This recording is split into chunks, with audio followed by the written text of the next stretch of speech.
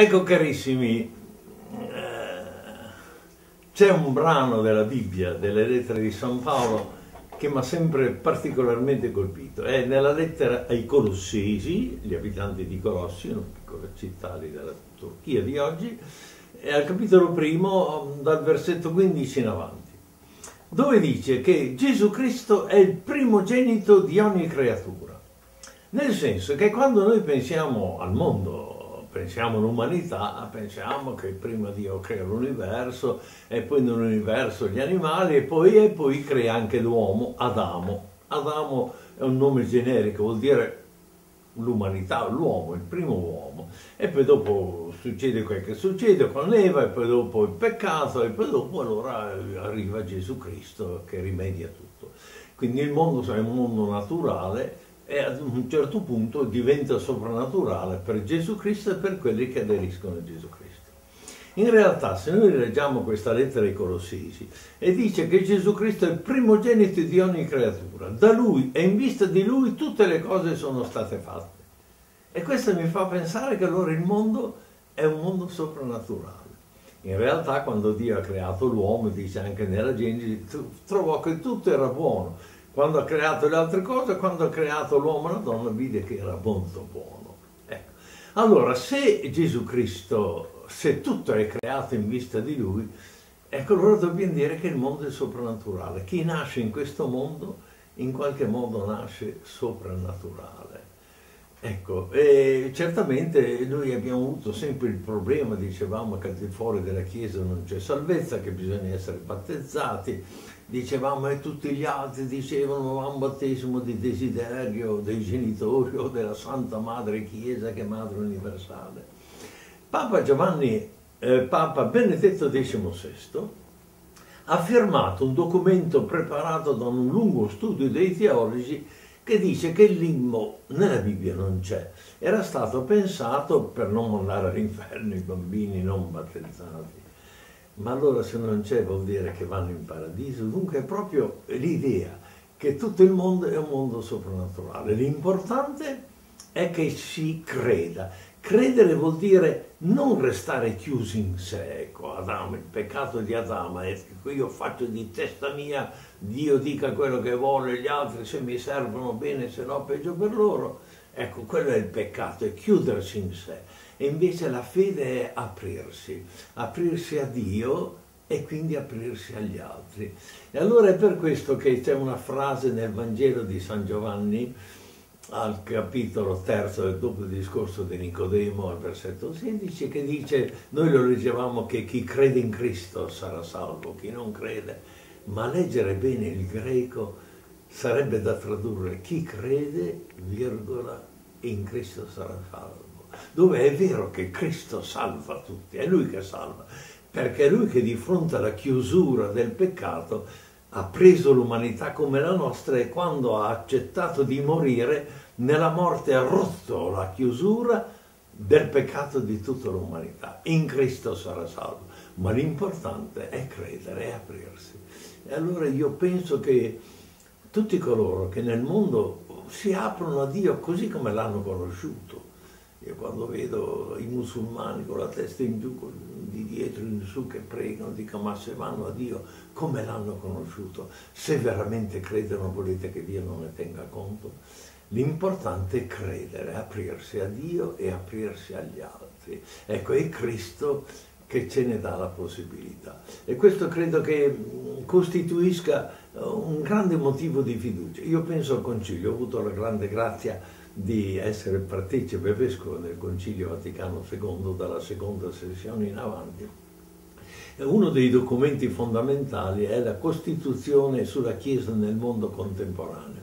Le prime parole latine sono Gaudium et Spes, vuol dire le gioie e le speranze, cioè le gioie e le speranze degli uomini, degli, soprattutto dei più poveri, dei più marginali, sono le gioie e le speranze della Chiesa, i lutti e le angosce degli uomini, cioè non è la Chiesa di qua e tutto il mondo di là. E la Chiesa è dentro il mondo che partecipa alla vita del mondo. Ecco, direi, per usare una frase, è un lievito. Cioè se tutto il mondo, se si apre alla fede in Dio e si apre alla solidarietà verso gli altri, è nel soprannaturale, nella grazia di Dio, perché è Cristo il primogenito di ogni creatura. Ecco, il Signore ha voluto rivelare queste cose, ha cominciato dal popolo ebraico, pian piano che Dio al di sopra di quello che noi possiamo pensare, si vede solo quello che lui fa, Yahweh, io sono il Dio per te. E poi comincia ad amare il prossimo, anche quelli che non contano, come le vedove, gli orfani, gli stranieri, e poi a Gesù Cristo dà la pienezza che Dio è amore perché Padre, Figlio e Spirito Santo è un grande mistero, ma un certo Monsignor Tonino Bello l'avrete sentito parlare, era un vescovo morto giovane, quelli bravi spesso muoiono giovani, non manca di eccezioni, ma... E allora lui spiegava perfino il mistero della Santissima Trinità. Diceva, vedi Don Luigi, che ero poi io, se fossero uno più uno più uno fa tre, ma sono uno per uno per uno fa uno sono talmente l'uno per l'altro che sono un Dio solo. Rimane un mistero, ma questo è importante per noi. Noi siamo veramente come Dio ci vuole, non se siamo l'uno per sé, ma se siamo l'uno per l'altro.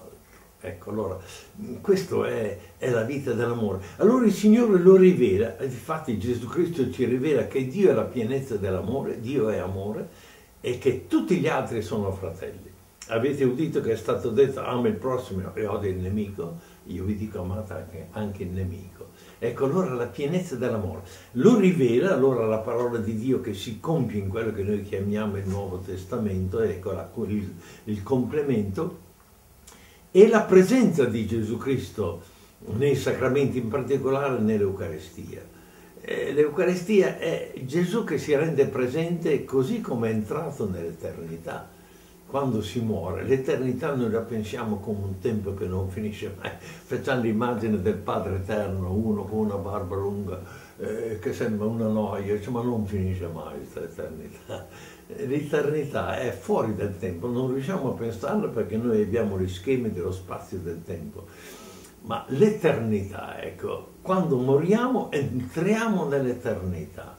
Gesù Cristo è entrato dicendo la pienezza dell'amore Padre, nelle tue mani consegno la mia vita e la pienezza dell'amore agli altri che è nel perdono.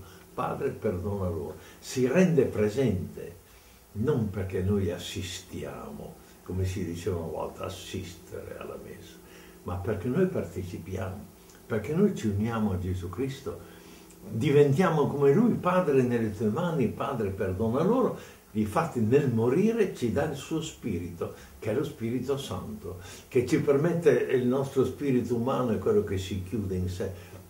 Lo Spirito Santo è la pienezza del dono, la pienezza dell'amore. Allora noi andiamo perché San Giovanni, l'ultimo Vangelo, precisa tante cose. Fra l'altro noi leggevamo che inclinato il capo Gesù spirò, ma leggere bene il greco oggi si dice trasmise lo Spirito, cioè ha cominciato, eh, ha tirato l'ultimo respiro, ma ha cominciato a donare lo Spirito Santo. E noi andiamo per immergerci nello Spirito Santo che Gesù Cristo morto e risorto ci rende. Eh, in maniera che la messa diventa non una parentesi, ma diventa, come dice il Concilio, eh, Vaticano II, il momento più alto è la forza della nostra vita cristiana perfino alla fine, quando noi nel rito romano dicevamo ite missa est, e che traducevamo la messa è finita, andate in pace, come dire, ecco, andate pure in pace, tanto ormai è finita.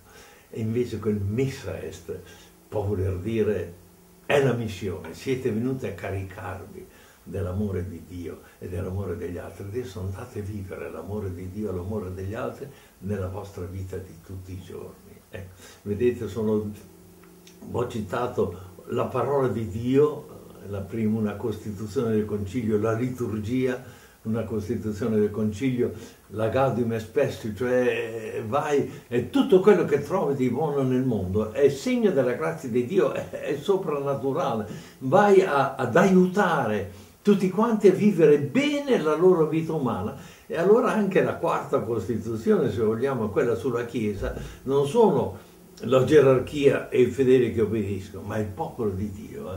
il popolo di Dio che deve essere caricato di questo amore, la gerarchia ci vuole come garanzia ecco, della parola che ti arriva, della grazia del Signore che ti arriva, perché tu viva questa esperienza dell'amore, della comunione nell'interno del popolo di Dio e posso portare come lievito di comunione di pace, di solidarietà, di pace. Questo è il grande compito dei cristiani nel mondo, di essere portatori della solidarietà e della pace di Cristo. Come, come vedete, i quattro grandi documenti, le costituzioni del Concilio, sono quelle che ci aiutano a capire il senso della nostra vita cristiana, ma vorrei dire della nostra vita umana. Ecco, questo per me è stata l'intuizione della lettera ai Colossesi, eh, Cristo è il primogenito di ogni creatura. Potrei concludere con un altro brano della Bibbia, questo del Vangelo, eh, quello che noi chiamiamo l'ultimo giudizio. Eh.